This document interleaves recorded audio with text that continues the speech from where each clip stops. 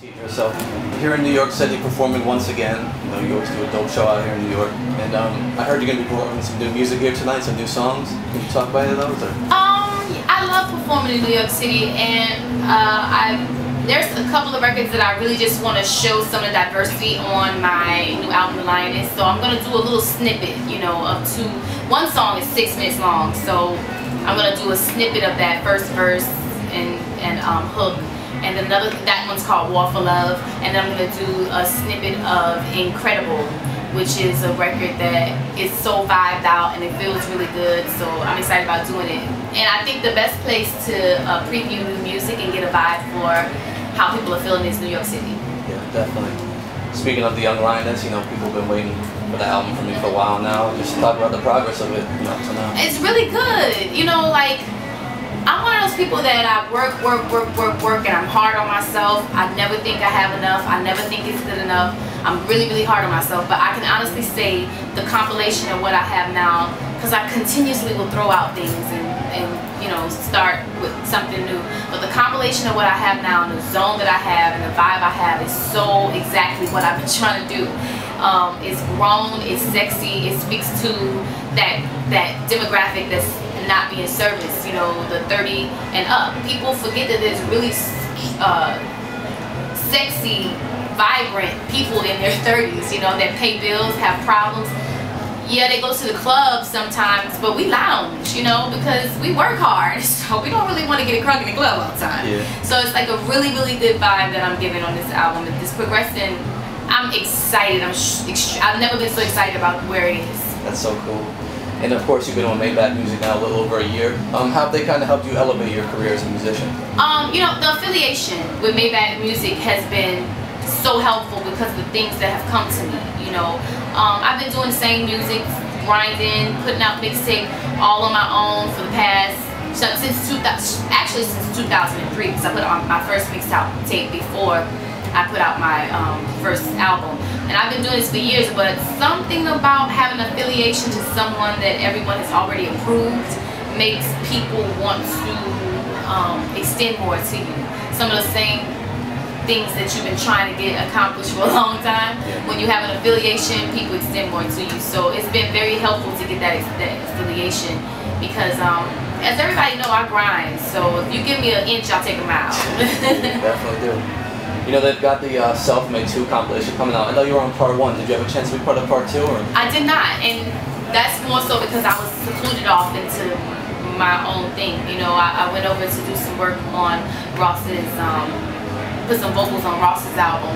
But I just have been really focused on uh, having this thing completed and and feeling really good about this album and I, and I think sometimes when I'm working I need to focus like when I a lot of times when I'm I went off to write for other people and, I, people and I try to write for myself, it gets confusing because I have ADD. So I have to focus. So this time I just focused. I focused on what I was doing because I have a deadline I have set in. Yeah, that makes sense. You mentioned your mixtapes, and of course, after Complex Simplicity back in 2004, you put out mixtapes over the years. Of course, those those felt more like albums, though. You know, new material, original material, but they've helped sustain your career over the years, and people got new material from you. Just talk about the impact they've had on your career. Um, I think that it has definitely been the, uh, this has been the, the, the mixtapes have been the thing that has um, really locked in and secured my relationship with the fans of Complex Simplicity. I think that I definitely didn't come in on the mixtapes and do what I did on, on, on Complex Simplicity, but you saw elements of it. You saw the same thing you saw in Complex Simplicity, you saw elements of that in each mixtape. And I also think that I came back around. I feel like Luxurious Undergrind feels more, and, and Royal Patience feel more like the vibe of Complex Simplicity than any of the other mixtapes where I started. I think it was something that I had to, I had to experiment and, and, and get out the different things I wanted to do to come back around to what's the next album I should put out. And I think the mixtapes have been helpful for me as well as you know, securing my fan base or the fan base of the music to know that I'm still doing it and I'm still doing it at the level that they expect me to. Cool. And of course, you have out the single "Another Lover." The video was out. And um, do you see yourself releasing another single soon, or do you have anything in mind yes. for that? Or? That's why I want to play a bit of Incredible because I just want to see what the vibe is like. Yeah. And if the vibe is really good on Incredible tonight, I'm going to stay over in New York and shoot like a real cool New York video, me in the streets of New York, just, you know, wow. that whole sexy vibe because the song is really sexy. So hopefully New York likes it. cool. So you're also slated to perform at the Essence Music Festival in your hometown, New Orleans.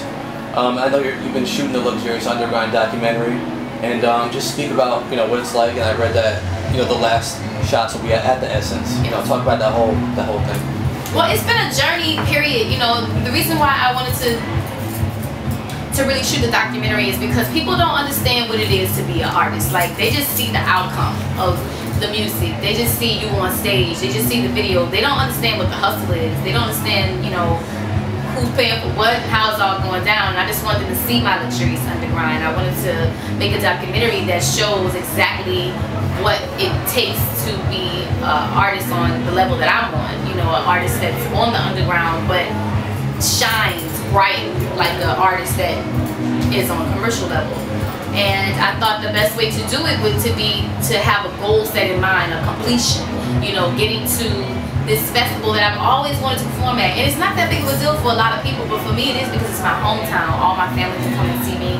Um, it's a, a big uh, platform for soul music and I think it's also a platform I can grow in, you know, and grow a fan base in.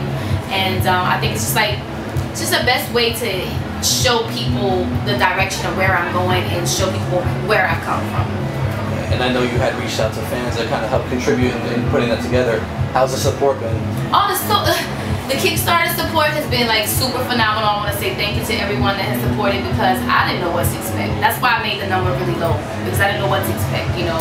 But I've been not only have people reached out, you know, fans of the music have extended, but outside of Kickstarter, people, corporations have extended money to me to help. You know, wow. shout out to uh, Bacard, uh, wait, oh, I don't want to get it wrong. Mm, I'm not gonna say anybody's name because, but uh, what is it? Wait, no, Bombay Sapphire. Shout out to the Bombay Sapphire and a couple of others that um I'm not sure. I just know that one's definitely name I can remember, but corporations have come and extended to me that, you know, saying we, we, we see what you're doing and we appreciate what you're doing and we respect what you're doing and we want to extend to you. So it's, it's super cool. I've gotten far more than I thought I was going to get because you never know, you know, and in urban music, people don't understand that. They don't understand um, support art. They don't understand it so I was really leery of seeing if people really support, but they did. People, more people understand it than I thought yeah. in urban music. So it, has been successful. Cool, I passed my goal, so I'm happy. That's amazing. Just to wrap up, you know, one thing I'm, I'm, taking with you as an artist is that people find you over the years, they still find you. They find your debut, Complex Simplicity, after all this time, and, and they love it, and then they just become fans of you. What is it about that album that people can just pick it up today in 2012 and be like, wow, now I, I love her immediately as an artist, and I'm, I'm a fan, I'm sold. Uh, what it is about that album is the, the, main reason why I can't just throw out a second album. Yeah. It's because my intentions are to make timeless music. My intentions are to make music that you could listen to 10 years before now and appreciate it. You could listen to it today and appreciate it. You can listen to it 10 years from now and appreciate it.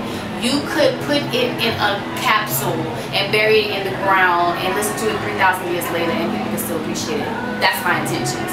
So when you're trying to make classic, classic music, it's not microwavable. And I'm not trying to do anything microwavable. And I think that the years I've taken may have been a long time, but I just feel in my heart God will is perfect.